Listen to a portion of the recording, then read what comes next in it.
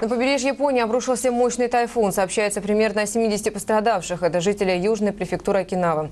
Тайфун принес ветер с порывами до 50 метров в секунду и сильные дожди. Эти кадры очевидцы шторма выложили на сайт YouTube. Судя по всему, данные агентства о волнах в 10 метров высотой не преувеличение.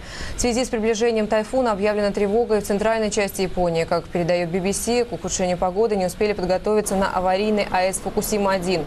Ветер и дождь способны разнести радиоактивные частицы на десятки километров. Сдержать распространение можно с помощью специальной синтетической смолы. Ей покрывают стены здания, но, как сообщила накануне компания «Оператор станции», завершить обработку вовремя сотрудникам не удалось.